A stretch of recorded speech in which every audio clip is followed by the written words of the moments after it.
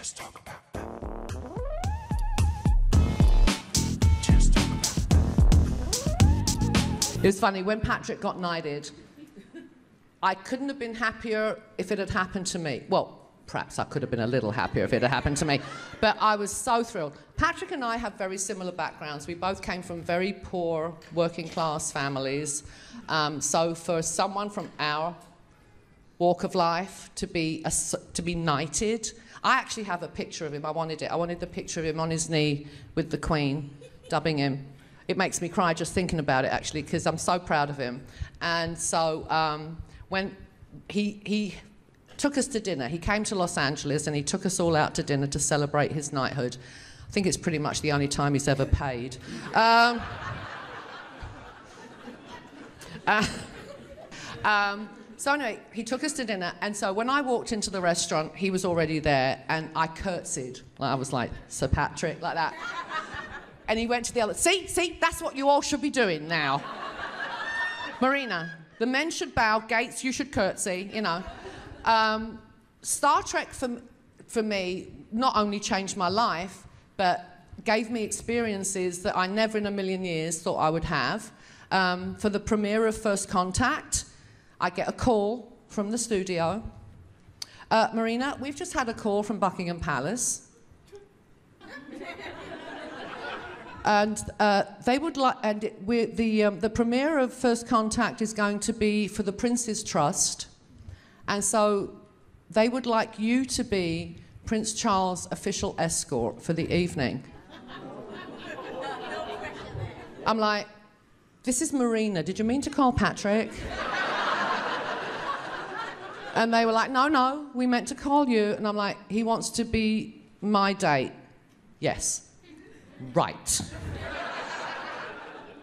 I've never been so nervous in my life. I was I literally in the limo to the theatre. My husband kept saying, "Breathe, Marina, breathe." I kept. I was like, terrified, terrified. So, as you've seen, you know, at movies. When they're, you know, you have to stand on a carpet and he comes along and he shakes your hand and everything, and you get a big list of things you can and can't say. Well, you can't say anything until they speak to you. But the, the main thing is you call them Your Royal Highness the first time, and then after that you just call them Sir. Well, because I forgot and I called him Sir, I called him Your Royal Highness for the rest of the evening. and so I'm, so I'm sitting next to him. My husband's really pissed off because he can't sit next to me, he has to sit behind me. and as he sat down, I heard him say, I don't care who he is, if he puts a finger on her, I'm smacking him in the back of the head.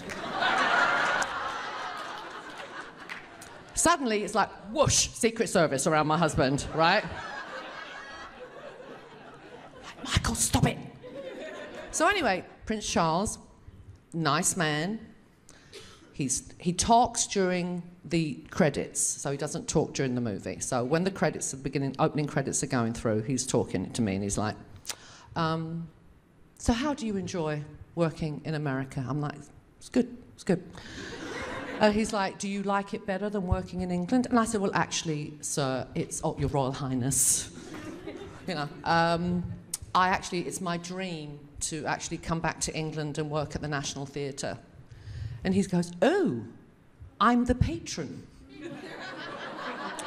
I'll put a word in for you. liar, liar, pants on fire. Right. And then he said, And where are you from? I said, Tottenham. He went, Tottenham. I went, Yeah, I don't suppose you've ever been there. Unless it's to open a sports centre or something. Because, you know, you, when you hear about you're, on, you're born on the wrong side of the tracks, there were no tracks. Not a track in sight where I came from. It's where the riots started a few years ago. That's all I have to say. Okay. So it's a pretty rough neighbourhood. Um, which is probably why I'm as loud and obnoxious as I am now, because you had to be quite tough to survive. So, um, yeah, so that was it. And then halfway through the Patrick was sitting on his other side. Halfway through the movie, obviously not a Star Trek fan, he turns to Patrick and he goes, What's going on?